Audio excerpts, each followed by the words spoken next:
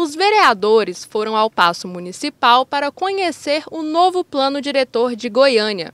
O presidente da Câmara, Romário Policarpo, recebeu do prefeito Iris Rezende o projeto e todos os relatórios e estudos que orientaram a elaboração desse conjunto de leis. O plano diretor é um instrumento que orienta, por exemplo, o ordenamento da capital, o desenvolvimento econômico e a mobilidade. O atual está vigente desde 2007 e, por lei, deveria ser atualizado a cada 10 anos, ou seja, venceu em 2017. A revisão foi feita por uma equipe de técnicos. O trabalho começou há dois anos e definiu seis eixos principais: desenvolvimento humano e econômico, sustentabilidade socioambiental, ordenamento territorial, gestão urbana e mobilidade, acessibilidade e transporte. Nós não podemos deixar de acompanhar a evolução, o crescimento da cidade porque isso poderia trazer empecilhos para o seu desenvolvimento, de forma que é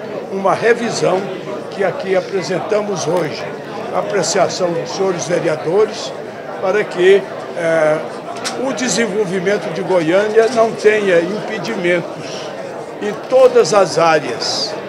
Goiânia precisa de uma revisão permanente presidente da Câmara diz que o projeto será discutido detalhadamente com a sociedade. A ideia é que todas as regiões afetadas, que haverão alterações aí no plano diretor, sejam feitas aí audiências públicas nessas regiões. A expectativa é que nós possamos envolver toda a cidade de Goiânia nessa ampla discussão que vai vigorar pelos próximos 10 anos da nossa capital. Nós temos problemas aí imensos, como também os vazios urbanos provocados pela última expansão.